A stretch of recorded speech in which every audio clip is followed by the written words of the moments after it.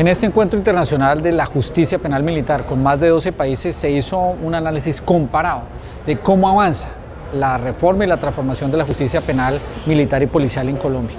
Tres propósitos fundamentales llevan al gobierno del presidente Duque a fortalecer la justicia penal militar. Primero, la creación de una unidad administrativa especial que le dé más independencia, más transparencia y más objetividad. Segundo, una garantía para que sea mucho más exigente en el momento de investigar y juzgar los actos del servicio de todos nuestros soldados, policías, suboficiales y oficiales. Y tercero, que le dé garantías a la nación entera que será total la exigencia con los hombres de la fuerza pública, que haya el debido proceso, pero total exigencia con los hombres de la fuerza pública.